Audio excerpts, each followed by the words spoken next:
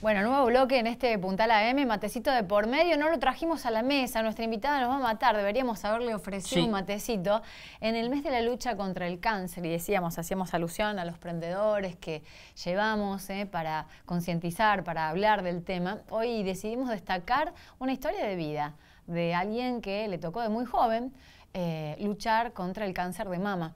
Entonces le invitamos a Agustina Franceschi. Así es, eh, gracias por venir Agustina. Eh, es un gusto conocer o que cuentes tu vida porque con esa sonrisa es, es gana de vivir todo el rato, todo el tiempo y con muchísimas actividades. Así que, bueno, ¿por dónde empezar, no? ¿Por dónde empezar? Contanos un poco tu... primero la parte mala en el sentido de, la lucha que te tocó y bueno, ya después afortunadamente eh, eh, ganarle al menos, ¿no? Eh, bueno, buenos días a todos. Gracias a ustedes por la invitación también.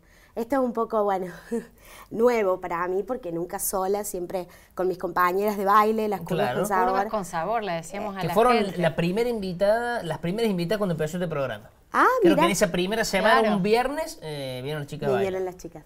Este, bueno, es, la historia comenzó hace cuatro, un poquito más de cuatro años atrás. Eh, eh, yo me había hecho mis chequeos eh, de rutina en marzo, eh, había salido todo bien y me fui de vacaciones con mi familia y allá empecé a tener un montón de síntomas. ¿Qué em, tipo de síntomas? Y bueno, si vos lees un libro de medicina o te fijas en la web, en cualquier lado, podés ver tenía todos bien síntomas de libro, como dice mi papá, que es médico. Claro, tu viejo médico, claro. Exactamente. Entonces yo empecé a tener dolor en la mama izquierda, Em, edema, que es cuando se te junta líquido, eh, enrojecimiento, tenía un montón de síntomas que me hicieron a mí, bueno, primero eh, atribuírselo a cuestiones hormonales que atraviesa cualquier mujer, pero después cuando volvimos de viaje, que estuvimos casi un mes afuera, eh, los síntomas continuaban, entonces decidí comunicarme con mi ginecóloga inmediatamente porque estaba preocupada. Em, mi ginecóloga, bueno, inmediatamente me dijo, vení rápido y bueno, eran, habían pasado tan solo cuatro meses de que me había hecho del último control. del último control. ¿Y cómo fue? ¿Una ecografía, una mamografía? ¿Qué fue lo que detectó que tenías cáncer de mama? Y al comienzo no salía nada, eh, decidieron darme unos eh, antiinflamatorios porque en los estudios no se veía nada con claridad. Y bueno, después de una semana de, antiinflamatorios, eh, una ecografía mamaria detectó eh, un bulto en la parte superior izquierda. Eh, y ahí nomás a Córdoba a hacer una biopsia. Y bueno, y ahí inmediatamente, en el mismo momento en que las médicas hicieron la biopsia, lo llamaron a mi papá, lo apartaron y le dijeron que ya habían visto que eh, no sabían qué tipo de tumor maligno era, pero que sí era maligno. Bueno, ellas acostumbradas a hacer eso a diario, eh, bueno, detectarán por ciertas características de la muestra este, cuando se trata de algo bueno y, o de algo malo. conocías eh, algo del cáncer de mama? ¿Tenías, ¿Habías tenido contacto a través de, de tu viejo que es médico, a lo mejor? ¿O, empezaste a instruirte a partir de lo Exactamente, que te pasó? nada, imagínate, tenía 29 años, recién volvía de viaje, de unas vacaciones increíbles. Mm. Eh, mi vida está ahí, era toda supuestamente perfecta. Bueno, ya después me pongo a investigar porque una después de estas cosas empieza a hacer viajes eh, con medicinas alternativas o, algunas cuestiones espirituales. Hasta de tu historia, ¿no? Claro. Totalmente. Biodescodificación hiciste. Sí, exactamente. Esa es como la, eh, la medicina alternativa, no sé cómo llamarle, que, bueno, a mí me hizo dar un, vuelco. 100%. ¿Y encontraste que tu vida no era tan perfecta como pensabas? Exactamente, totalmente. Entonces yo me noté, o sea, yo pensaba que estaba súper conforme con un montón de cosas y la cuestión es que todo lo contrario, eh, me estaba autoexigiendo hacer un montón de cosas que no, no me hacían feliz. Entonces, bueno, a, partir de ahí empecé como la búsqueda del, no del por qué, sino del para qué. Al principio buscaba el por qué, pero después empecé a entender, bueno, que todo esto aparece por algo. Y no fue una sola vez, porque después se me hizo metástasis en la columna. Eh, me tomó dos vértebras con las mismas células cancerígenas eh, de la mama. Entonces eh, ahí dije, bueno, mm, hay algo que no estoy escuchando, hay algo que no estoy viendo, hay algo que todavía tengo que arreglar. y bueno, y hace ya cuatro años y, pico y bueno, sigo todavía. Ahora, de hecho, después de acá me voy a hacer el tratamiento. Así que todavía en tratamiento por lo que pasó hace cuatro años. Por lo del, y por lo de la columna específicamente. Eh, es una palabra muy fuerte, eh, porque encima es como uno lo imagina tocando de oído, digamos, como hasta como una suerte de calvario que uno tiene que atravesar o vía crucio, ponerle la palabra media tremendista que quiera. Pero sí, bueno, ¿cómo es la, fuerza para empezar a, vos mostrarte entero? Y no solo sos vos, sino que para no contagiar a tu, a tu círculo íntimo, ¿no? Claro, ¿cómo, haces con eso? Y bueno, o haces como podés, en definitiva. Bueno, yo veo que hay muchas personas que se rinden o, o hay muchas personas que dicen, bueno, ya está, hasta acá llegué, tengo esta enfermedad, quizás, no sé, me toca morirme o me toca pasar por todas estas cosas, ¿cómo voy a hacer? Me encuentro con un montón de gente que me dice, yo no podría haber pasado todo lo que pasaste, pero la verdad es que es las ganas de aferrarse a la vida y de, vivir y de, ser feliz y de ser tan, joven y, y, tener tantas cosas lindas alrededor que yo también me considero siempre que eh, me tocó bailar con la más linda, siempre digo, lo mismo jugar en primera, no sé si lo querés poner en algo más popular que es el fútbol. Em, porque siempre tuve mucha suerte con todo, o sea, pero yo también creo que es un poco lo que, lo que atraigo por ahí, porque es un poco lo que emano también, esta, tratar de, de, hacer todo con buena onda, con buena energía, con alegría, aunque hay momentos durísimos, porque hay días que, que bueno, se tiene un montón de fantasmas, de miedos, eh, pero bueno, son días, son momentos. ¿En qué estadio está la enfermedad? ¿Está frenada eh, y el tratamiento sigue, continúa? ¿Qué tipo de tratamiento? Eh, en este momento estoy haciendo una especie de vacunas que son para evitar que la enfermedad vuelva a aparecer en lo que es columna. ¿En la mama ya está? ¿O no? Sí, la mama ya está porque eh, me extrajeron la mama, me hicieron una mastectomía completa con extracción de, ganglios también axilares y supraclaviculares. Era un tumor mm, grosso. Considerable. Muy, muy. De hecho, mi médico hasta el día de hoy me dice, no te quejes, porque yo por ahí voy, le digo, pero vamos a seguir haciendo hasta cuándo, hasta cuándo, porque ya un poco te cansa todo mm. esto. Un poco no, mucho te cansa. Eh, y me dice, no te quejes, que no sabemos cómo estás acá. Como mm. que fue grosso. Zafaste bien, claro. Claro, zafé bien. Y tuve todos los tipos de tratamiento que existen, porque fue eh, remoción completa de la mama, rayos, quimioterapia con un montón de, de, drogas y de cosas, después lo de la espalda y, y bueno, y radiocirugía en la espalda. Me, me, tocó hacer un montón de cosas. Em, ¿Hiciste todo acá o en Córdoba también? Eh, la operación eh, de la mama en Córdoba, eh, pero el resto todo acá. La verdad que... y, no. obstante, sos profesora de inglés, que ya lo eras, bailas y haces un montón de actividades como decir, bueno, a, la vida le gano así, en definitiva. Totalmente, haciendo lo que me hace feliz. Porque un día decidí, dije, bueno, basta, no me, no me estreso más no quiero cumplir con nadie, o sea, eh, ¿qué quiero mostrar? Que quiero cumplir con ciertas cuestiones que uno trae desde nacimiento o, quiero buscar, digamos, mi propia felicidad. Y bueno, ahí fue cuando emprendí la búsqueda, digamos. Y empecé a soltar un montón de cosas que me tenían eh, estresada, ansiosa, nerviosa.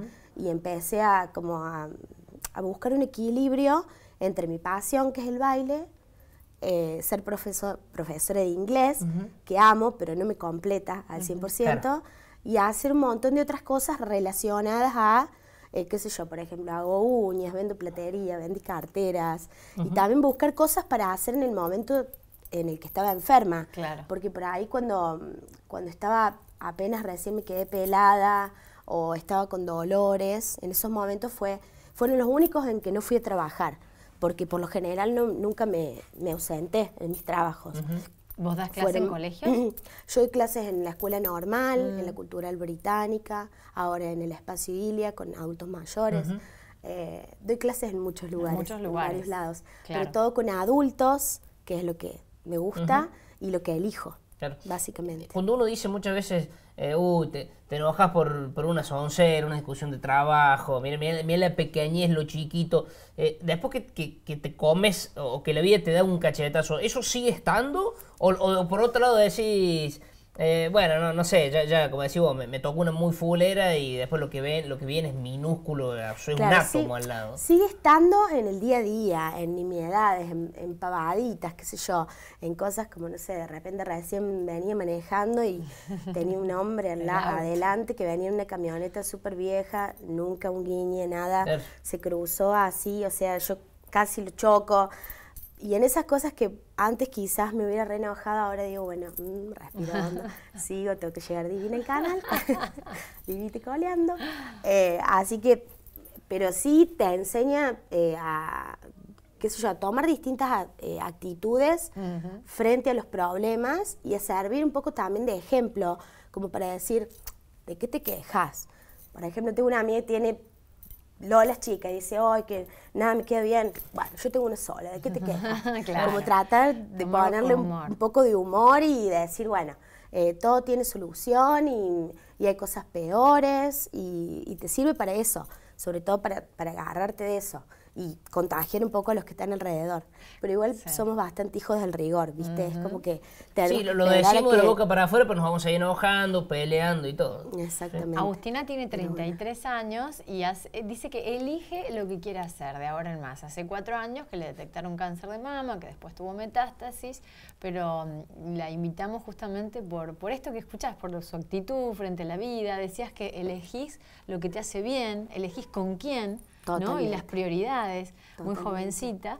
Eh, hoy, por ejemplo, ¿cómo es tu día? Tu día a día, tu semana, más o menos, y eh, esto también incluyendo el tratamiento, ¿no? Siendo conscientes de que esto es parte de tu vida. Exacto. Eh. Bueno, ahora estoy en una etapa del tratamiento bastante tranqui, porque esta vacuna, la verdad que más que un poco de malestar estomacal, no, no me trae.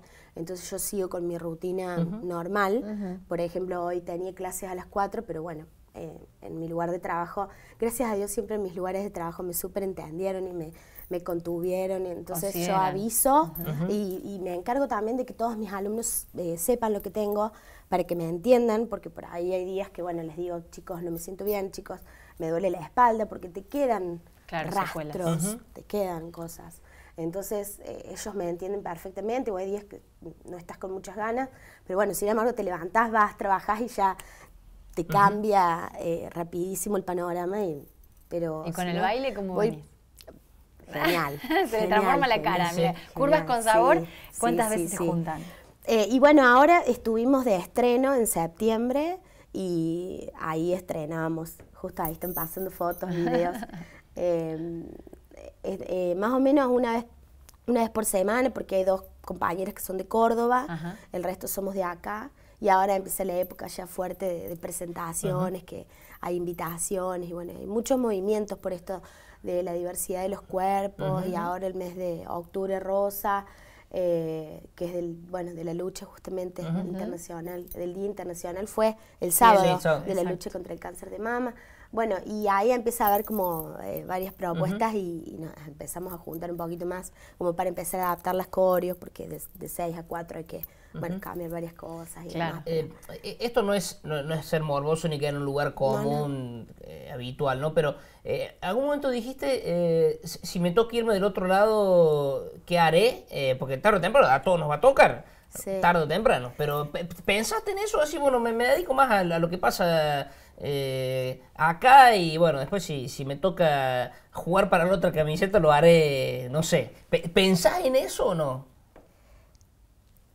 Qué pregunta, Javi. La verdad es que, no, me la habían, no me la habían hecho nunca. La verdad no me la habían hecho nunca. Pero mm, tuve momentos así de miedo en que dije, bueno, sobre todo cuando me enteré, al comienzo todo es incertidumbre. Es no saber, ya la segunda vez me agarro más preparada. Me agarro más en un ataque de histeria en el momento en que me, me enteré y dije, de nuevo, o sea, ¿qué, ¿qué estoy haciendo tan mal? ¿O por qué me está pasando esto?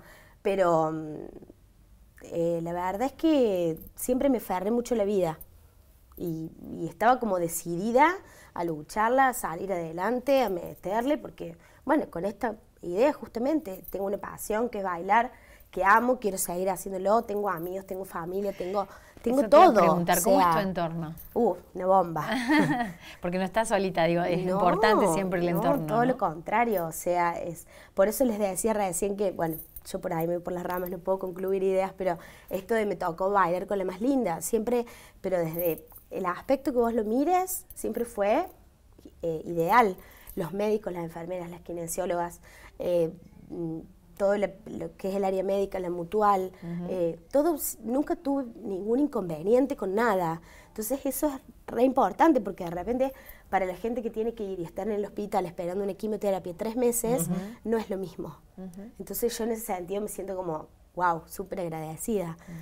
Y después mi familia, mis amigos, que tengo un montón. Eh, bueno, es muy, muy grande el entorno y mucha, mucha la gente que me contiene. Eh, eh, yo siempre me río y digo que había armado tipo, no sé, un, mi mesita de luz parecía entre piedras, piedritas, semillas, semillitas, hongos, honguitos, eh, estatuillas, de todo, de lo que se imaginen. Todo, o sea, todas representaciones de cariño de la gente que venía y me traía, ¿por qué no probas esta cosita? ¿Por qué no haces esto? Y lejos de, de, de, enojarme, era, bueno, gracias, ¿viste? Y es recibir el amor a través de esa medallita, de esa, eh, no sé, lo que sea. Entonces, bueno, eso te da un montón de fuerza. Claro que sí. Sin duda, sin duda. bueno, a bailar ahora, ¿eh? a bailar a pleno. A seguir bailándole la vida. Pero haces uñas semipermanentes, ¿seguís vendiendo cosas todo. o eso lo hiciste solamente cuando estuviste No, todo, todo, sí, sigo todo, full. multiplataforma. Así, en, el ¿Eh? día varias cosas, como para ir alternando y que, y que no se torne eh, rutinario o aburrido o estresante o eh, decir que el, inglés no te llenaba, o sea, no, no, no te completaba al, que ese porcentaje a lo mejor lo, cumple el baile. Eh, ¿Dónde notas que a los alumnos le cuesta más el inglés? Javi, tus preguntas son tremendas. bueno, yo, yo que tengo inglés ahí hasta ahí nomás y que lo manejo más o menos, pero bueno, estarías ahí perfeccionando. ¿Qué es lo que más cuesta el inglés? y las habilidades de habla y de escucha, sobre todo la de habla. Pronunciar, claro. No, no, no, no es solo pronunciar. O sea, ese sería como dentro del habla el, menor problema, sino el armar un mensaje en un segundo, en una segunda lengua es, es lo más complicado. Porque cuando vos escribís tenés más tiempo para hacerlo, cuando vos lees ni hablar, eh, por ahí para escuchar lo podés repetir, pero cuando ya tenés que hablar, eh, ahí hacen agua. Y es el problema, ay, profe, yo no puedo, yo no puedo hablar. Yo, no, puedo, hablar, yo no puedo hablar, yo no puedo hablar. Bueno, pero hay que reducir los niveles de ansiedad y, bueno, es un proceso. Y, y ejercita. Totalmente. no?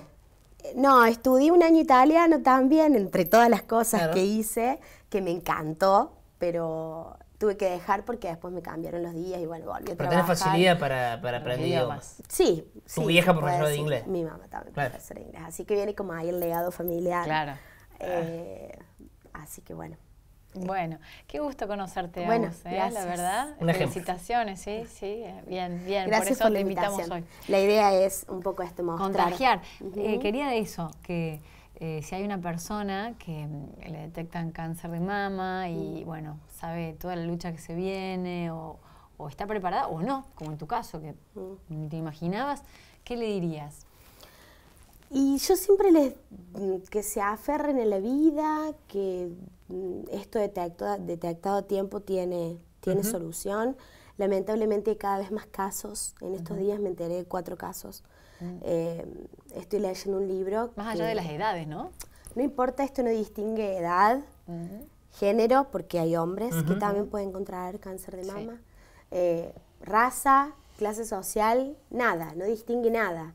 Entonces, hacerse los, los chequeos, mi hermana siempre se enoja y me dice, bueno, pero vos te hiciste los chequeos e igual te agarró. Claro, reducís eh, el margen de error al mínimo, ¿no? Pero sin embargo, claro, si todos anduviésemos por la vida sin sin eh, ir al médico, yo creo que sería mucho peor el panorama.